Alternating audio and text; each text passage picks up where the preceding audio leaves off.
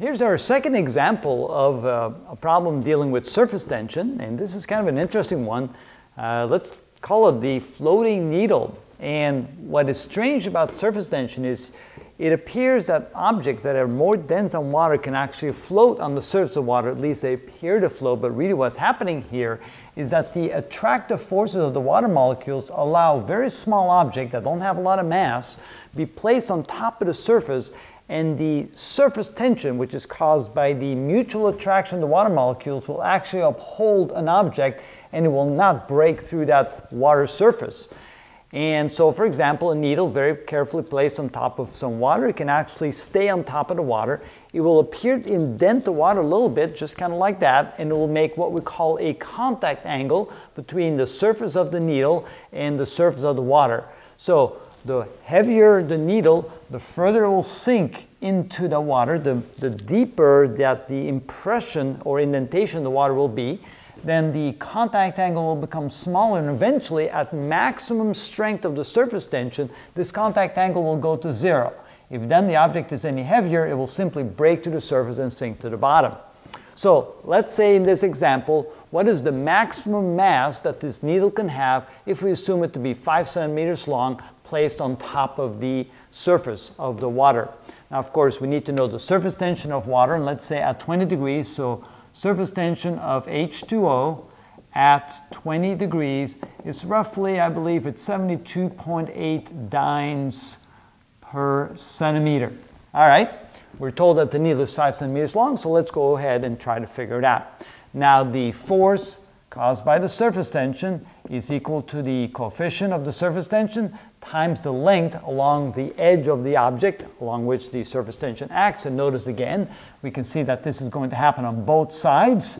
So if you want to think about it this way, so the angle should be the same on both sides. And times the cosine of that contact angle, cosine of theta. Now, of course, you know that the surface tension will then equal the weight of the, um, of the object. And since we're looking for the maximum weight or the maximum mass, so mg is going to be equal to the coefficient times length times the cosine of theta. And of course, the cosine of theta is going to be 1 because the maximum or the, the maximum force will be uh, of the surface tension will be there when the contact angle goes to 0. And of course, the cosine of 0 is 1. That means that m is therefore equal to the coefficient times L divided by g. Now remember, L is going to be the total length of the surface that is um, accounted for, that the, that the uh, liquid uh, touches the metal of the needle, so that's going to be twice the length of the needle, so we'll have to write that like that. So that means the total contact length, if you want to call it that, L, is going to be twice the length of the needle. All right. And this, is, of course, simply just G. Let's plug in the numbers. And so this is equal to, if we convert that to newtons per meter, this would be equal to 0.0728 newtons per meter. So divided by 1,000 because it's divided by 100,000, but then times 100 to convert back to meters. And let's plug that in here. So we have 0.0728 newtons per meter for the coefficient. The length would be twice the 5 centimeters, which is 0.05 meters.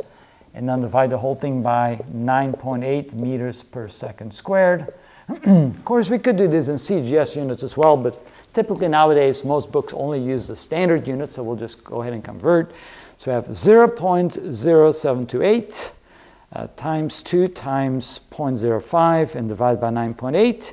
And that gives us the mass in kilograms. So this is equal to 7.4 times 10 to the minus 4 kilograms. And of course, convert to grams, that would be 0.74 grams. All right, so that's the heaviest needle that you can place on, on water and it will still be upheld by the surface tension of the water. So a little bit less than three quarters of a gram, provided of course the needle is five centimeters long.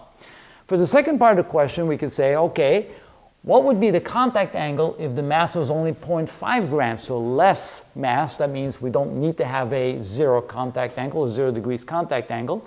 So for the second part of the problem, let me give myself some board space here. We use the same equation right here, but now we don't have zero for the, cos, uh, for the angle. And so now we have mg is equal to gamma times L times the cosine of theta. So that means the cosine of theta is equal to mg divided by gamma times L, which means theta is equal to the arc cosine of mg divided by gamma times L. Remember, L is the total length between the liquid and the needle. That would be both sides of, of the needle. So this is equal to the arc cosine. Uh, let's go like this.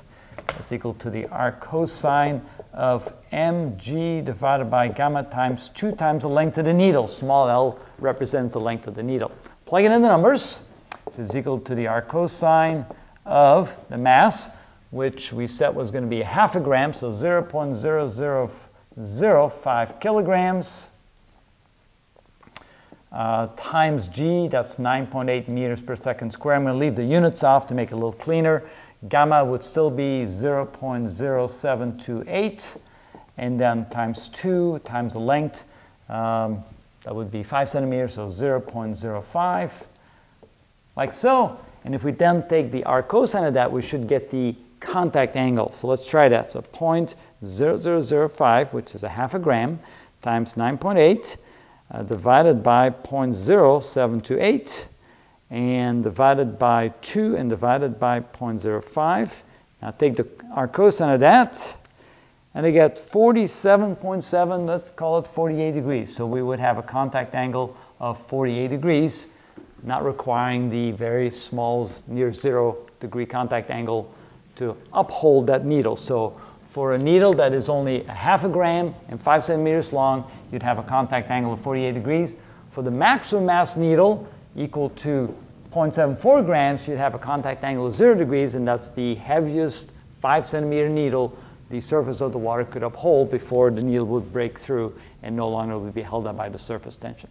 So hopefully this is a good example for you to see how surface tension works.